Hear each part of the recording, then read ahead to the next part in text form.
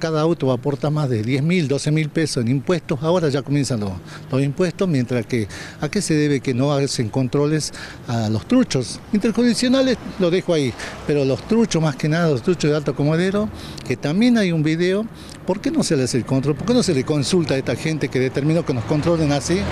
¿Por qué no se hace el control a ellos? En la feria, principalmente de Alto Comedero, hay muchos autos particulares que realizan viaje. ¿Ahí no hacen controles?